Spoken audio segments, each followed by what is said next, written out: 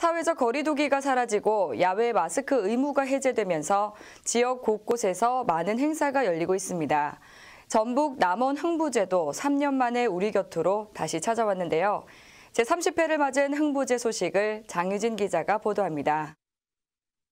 전라북도 남원시 사랑의 광장 일원에서 제30회 흥부제가 코로나19 3년 만에 시민들의 품으로 돌아와 이달 7일부터 9일까지 3일간 화려한 막을 열었습니다.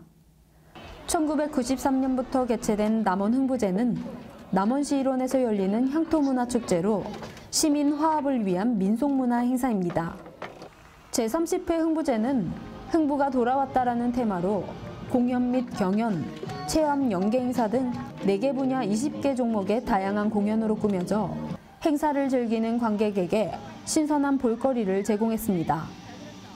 시민과 함께 만든 제30회 흥부제는 남원을 찾아오는 손님들에게 가을의 정취와 잘 어우러진 신나고 재미있는 축제로 준비했습니다.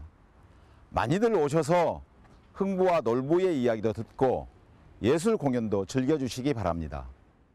이 밖에도 축제의 흥을 더해준 흥부 품바 명인전, 귀로 듣는 흥부전인 판소리 열전은 시민들에게 새로운 즐거움과 수준 높은 볼거리를 제공해 흥부제의 대미를 장식했습니다. 이번 흥부제 축제를 통해 시민들이 우애와 나눔의 흥부 정신을 발전시키고 남원이 흥부 고장임을 대외에 널리 알리는 계기가 되길 기대합니다. 복지TV 전북방송 장유진입니다.